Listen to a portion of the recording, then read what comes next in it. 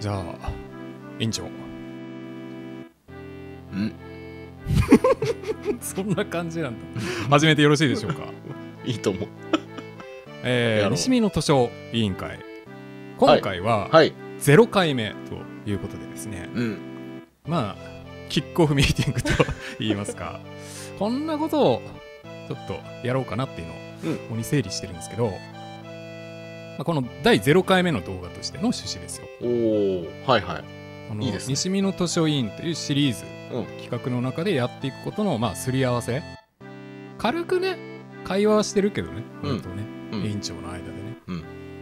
ただまあ視聴者の方交えてっていう感じだよな。こんなことやるよっていう。うん。すり合わせと、あまあ、使用フォーマットの確認。いつもの感じですけど、まあ、こんな感じでその漫画のね情報とかを載せてやろうかなっていうの。を、一応俺の中でなんとなく頭の中にあるのでそれを見てもらう感じ。はい。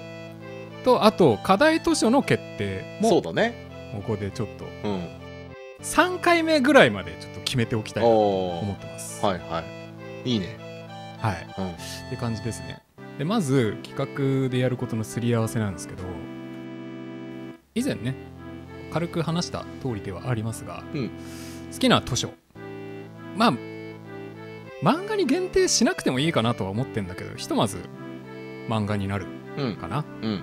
好きな図書をお互いに進め合って。でまあしっかり読み込んできた後にネタバレ全開で感想を喋っていくと。うん。ただそれだけの動画を目指します。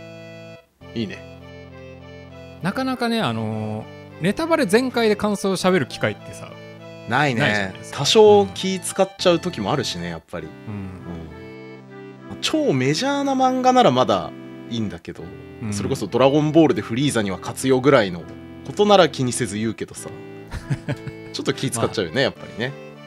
あと大人になるとやっぱなくなるよね、ない。そういう機会ね。うん。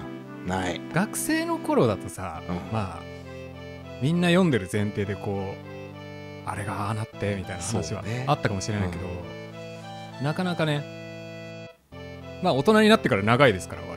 溜まってるいろいろあるはずなんです、そはい。それをここでねちょっと放出していけたらそういう場にしていけたらいいなといい企画だと思います。はい、うん。でえーっとちょっと表記がカタカナと漢字で混在してるけど漫画の紹介ではなくすでに読んでいる人向けでもうやっていこうかなと、紹介だとさ結局なんか表層的な情報に終始しちゃう。うかさ深いところはね。うん、そこ難しいよね。だからもう知らない人のことは一切考えずに、いいと思う、読んでる前提で、うん。どっちかに振り切った方がいいと思うんで、そうだよね、うんあとこれはまあ俺の好みでもあるけど基本好きなところを言い合う感じにしていきたい、うん。ここがいまいちだねみたいな聞きたくない。やっぱその漫画が好きな人が見てくれる動画にうんしたいですね、なんならその作者に聞かれてもいいぐらいの熱量の感想を喋りたい、おおいいですね。っていうのをちょっと目指してやりたいなと、はい。個人的には思っております。こんな感じでいいですかね。うん。特に異論はないですね。うん。ん。で、まあ、フォーマットというか、おおこんな感じで、こんな感じの背景で喋ればいいんじゃないかなっていううん。うんいたあの、話にも上がっていたワンピースをね、例としてまとめてみたんですけど、多いな関数 これでいいんじゃないかな。うんタイトル、まあ、先生の名前と、うん関数ね。完結しているっていうのを条件にしなくてもいいかなと思ってて、うんうん、まだね連載中の作品でもこういう感じでね載せて。で完結済みっていう前提にしちゃうとワンピースできなくなるし、そうね。うん、であと掲載誌。うん。掲載誌ぐらいは必要かな。あと掲載誌、あはいはい。うん、掲載誌あればねこれ見てもしなんか動画の前に読もうって思った人が読み始めやすいよねああな そうね。いるかどうか知らんがなるほどね。はいはいはい。掲載誌派の人ね、うん。コミックス派じゃなそうくてそうそう一刻も早く最新に追いつきたいっていう人。はいはいはい。がいまあ今日我々が喋るのはあのコミックスベースになると、うんは思いますけど、ね。はい。あとまあ連載期間。うん。もう完結している作品も、まあ、取り上げることは多くなるとは思うので、あるまあでしょうね。どれぐらい昔のね作品なのかとか。が分かるといいかなって思って。どうでしょう？過不足ありますかね？文句は全くないですね。これでバッチリだと思ってますけど。出版社とかがあってもいいかなとは思ったけどでもまあ掲載地があればうん。分かるもんね、うん。うん。出版社ってそんな気にしないよね多分。する人もいるだろうけど、そうだね。うん、まあ、ポプテピピック読んでる時に竹書房を意識するぐらいあぐらいなので、うん。まあ、作中に出てこなければそんなにね意識はしない。ねあ、うん、うんって感じのフォーマットでやろっか、はい。もう基本この画面をバックにはい。感想をしゃべる感じいね、いと思います。うん。サクサクですね。うん。わかりやすいからね。あちょっとね動画の構成としてまあ基本我々がしゃべるのはさ、うん。読み終わった後にうん。好きなキャラクターとかさ、うん。好きなシーンがここでっていうのをこう描写はしゃべり、うん。うん、あっていく感じになるとは思うんですけどプラスしてあああのー我々というか僕が結構あの個人でやっている実況動画だと、うん一本ストーリーもののゲームやり終わった後に、まあ、感想をしゃべる動画作ったりすうんるんですよ、うんしてるね。で時々その視聴者のねメッセージとかを募ったりもするんですけど、うんすげえいいんですよ。すごい結構みんな長文で思いをね送ってきてくれてすごいなって毎回感心するんですよねちょっと前に学校であった怖い話のはいはいやってたね。作者さんとの企画とかもうん。やっていて間にねあのドワンゴさんの人が担当の人が入ってくれてお。話進めてたんですけどその人に「稲葉さんの視聴者ってなんであんなに文章力高いんですか?」って 褒められたっていうねぐらい。文章力の 高い視聴者が揃っているのでこれ募ったらね多分ねすげえ動画としてはねいいものになるんですよ。ねおお大丈夫文章力高いとか言うとお便りのハードルが上がらないかい？いや高いんだよ。そこは。だからうんまあメールなりねなんかフォーム作るなりねちょっと募り方はあるかもしれないんですけどそれをやったらまあ動画としては良くなるし、ううんちらも多分話しやすくはなると思うんだよ、ね、全全然いいと思いますよ。自分の好きな漫画を好きな人からの意見が来るってことでしょ？お便りが。そうそうそう。うん。全然いいんじゃない、ただそれをね選定するのが結構高負荷というか、そうね。うん、機動力はかなり落ちる ガンパレでいうと増加倉庫を2つ積んでる感じになる23 割減ぐらいの。そこだよね。ねその負荷がかかるのがもう一方的に君になっちゃうからお俺が選定でもいいけど。それやってくれるかい？ょ。あいいよ全然まあなんか完全にどっちかの役割じゃなくて、うん。2人共有のなんかメールアドレスとか使って、でまあ基本画面に見てもらって、うんうん。かなんかか課題出した側が選定するでもいいかもね。ああそうね、まあどどっちでもね、うん。ちょっと2人がこう負荷を拾い合う感じに できればいやってもいいかなって全然やりますよ。けど。本当に、うん。見たいしね。お便り。あーいや結構すごいですよあー。すごいあ俺らが喋ることは多分かすむんですよ。これをやると。やっぱ浅いことしか言ってなかったなみたいな感じになる気はするけど、うん。うん。ちょっとやってみるかじゃあ。うんうん。そうだね。課題図書発表してからある程度期間がこう必要になってきちゃうけどね、まあまあ。確かにね。ただなどれぐらい来るかな？わかんないね。でも多分動画の中でうん紹介できるのってすごい少いないと思う、うん。うん。あまり来すぎてパンクするようならまた考えればいいんじゃない、そうだね。やってみてでも全然。じゃあちょっとやってみますか。はい。うん。って感じですかね。はい。はい。一応企画の内容としては迷っていること含めてうん。こんな感じなんですけど、なんかありますか他に？ない じゃあこれでやっていこう。はい。で最後ね。あ課題図書の選定 なんかもう入ってんな。あの「ワンピースはやっぱさこの企画のさ始まりのね一つでもある。そうね、うん。あのパトロールでワンピースに言及したとこから来てるまあそれもねのもあるからね。だからワンピースはやっぱやっていきたいんだけど、うん。ワンピースだけをやるのはちょっと違うかなってうんういうのもあるので、3回目ぐらいに置こうかなと。でも107巻まではさすがに無理なんで。そうね。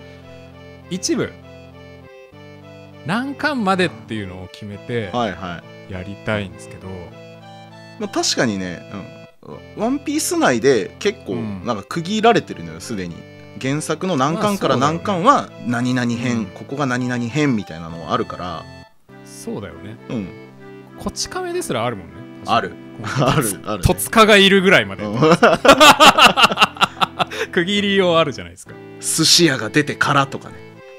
ああ超神田寿司かい。超神田寿司。希望式だね。そこで区切るんだ。まあおいろんな区切り方がうん。ある結構義と思うんですけど。母式以前以後になるなこっちからはそそっか。そっか。まあまあまあワンピースも多分区切り方はあると思うので、うん。そこを一任していいですか？あえいいっすよ。俺はあの、はい。本当にガチ初見になるのでワンピースのコミック。ス珍しいよね多分。うん。うん、珍しいかもしれないね、うん、でも今なかなか聞けないでしょ。一巻から初めて 触れた人の感想。そう 連載から25年以上が経っているのにだからね。そうだね。ううん。ん、それできるねあのビッグタイトル結構あると思う、うん。俺。ワンピース以外でも。ありそう。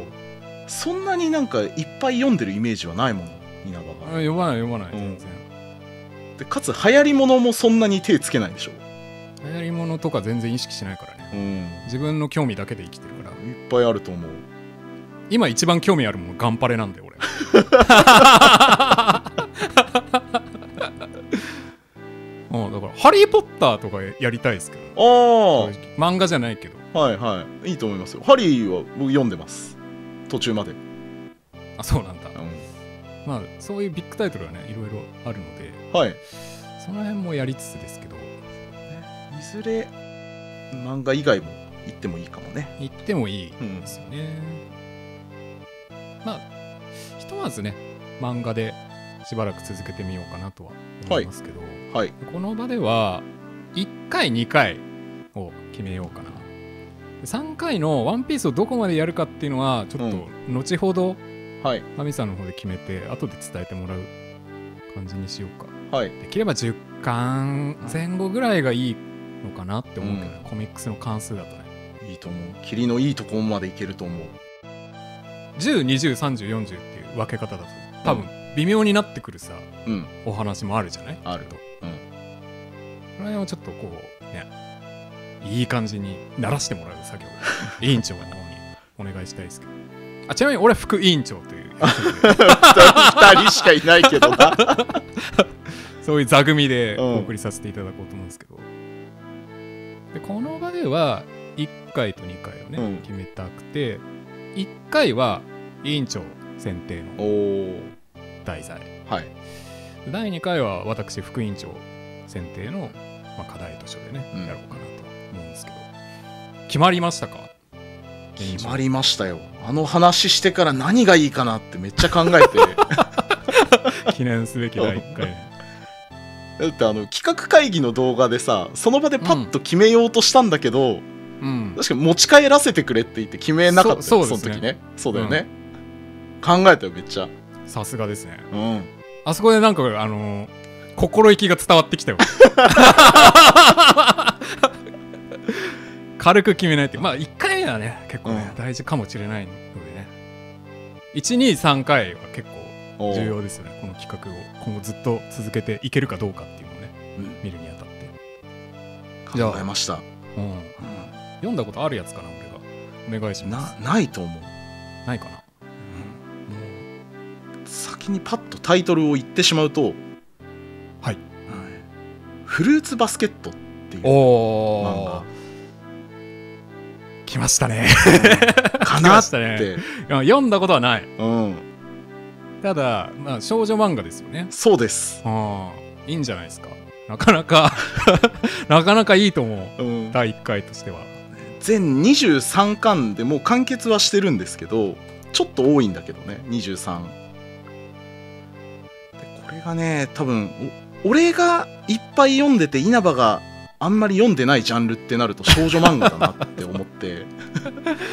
まあ俺がどの辺をね、うん。読んでるかっていうの多分そんな知らないと思うけどね、うん。はね。でもさうん。君んちやっぱ男兄弟っていうのもあってそんなに触れる機会はなかったかなっていう男二人兄弟のね長男ですから、そうそう。そうだね。確かに。ガミさんは妹さんいますもんね。うん。まあ入り口はやっぱ妹が読んでたリボンの漫画からだから。なるほど。うん。あーいいね。ちょっと読んでみたさはあるよね。フルーツバスケット。名前は聞いたことあるし。でなんか少女漫画をほとんど読んだことない人にうん。なんだろうなこういうのが少女漫画ですよって進めようとした時になんかいろんな要素があってでも面白くってある程度メジャーでみたいなのめっちゃ考えて俺はフルーツバスケットを選んだ、さすがですね。あれですもんね。うん。委員長は元本屋さんですもんあそうそうですね、うん。中古書籍を取り扱ってる本屋で働いていたこともございます。だからまあその筋の人ですよね。元本屋さんうん大将ですよ。ああでもうんいいと思いますね。フルーツバスケットでいきますか第1回。行ってほしい。楽しそう。うん。これ聞きたいっていう人多分多いと思いっぱいいると思う。う 多いと思うよね。これねあのーうん。ちょ先にちょっと下調べしたらギネスも取ってても最も売れた少女漫画。あそうなんだ。でギネス認定されたこともあるらしいんですね。すごいですね。ビッグタイトルですね、ビッグタイふさトルわしいですね第1回にね、ぜひぜひ。アニメ化も2回もしてるし。あそうなんだ。まあそう。ここであまりね喋りすぎてもね、内容は全然喋る気はないから。大丈夫。なるほど。わかりました。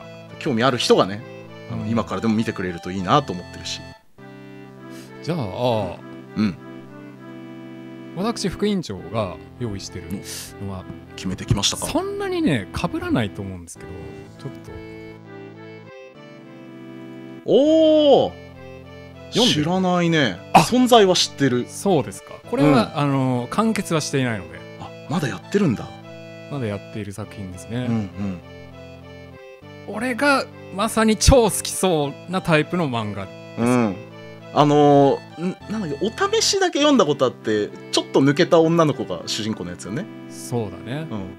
あのね俺は今まで好きな漫画一番好きな漫画って何って聞かれた時に基本結城正美先生の究極超人 R って答えて いたんですけどそこに並ぶかもしかしたらこの後の展開によっては超えるかもしれないなうん結構本気で思ってる漫画ですね、まあ R 君もねあの学園青春ものではあるんですけど、うん。スキップとローファーも、あれ学園青春ものかまあギャグ寄りのね、うん。学園青春学園青春部分に俺はすごく惹かれているので。あまさに俺が好きなタイプあはいはい。これは確かに読んでみたい。のかつうん。いろんな人の感想を聞いてみたいタイプの作品なので今すげえいいとこなんですけど最新刊で。へ表紙の絵だけ浮かぶわ。ああ若干ね少女漫画チックではあるんだけど、うん。ただ実は掲載誌アフタヌーンっていうね。へえ講談社だね。あまあうん。男性が読んでも女性が読んでもうん。本当に楽しめる作品だと思うのでね、これがやりたい。わかりました。うん。いいですね。いい並びですね。いいね。フルバカ。フルーツバスケットも学園青春要素はあるから。なあだからあ好きそうとは思う、ううん。落差ワンピースへの落差がすごいけど。まあワンピースも学園じゃないけど青春ではあるじゃない？きっと。ああそうだね。若者の青春を追っていく物語ではあるね。多分好き好きではあるから、うん。ワンピース。大丈夫。全然いけるねこの3作品。うん。えー、楽しみだな。じゃあまずはフルーツバスケットを読みますわ。はいこれあれですよねその第1回の収録前に俺がスキップとローファーを読んでてもいいんでしょ？あ全然いいよ、うん。全然いいよ。当然。それはまあ先にね読み進めてもらって、はい。最低3週ぐらいはしていただかないと。まあ嘘だけど、うん。まあまあまあ、これをさ読んだ読んだ上で君んちに収録に行ってさうんうん、読んだ話をしないっていうのはちょっと絶対ダメだよし嫌だな。貯めといて。それは貯めといて。そうだよね。うん、貯めとくわエネルギーを、うん。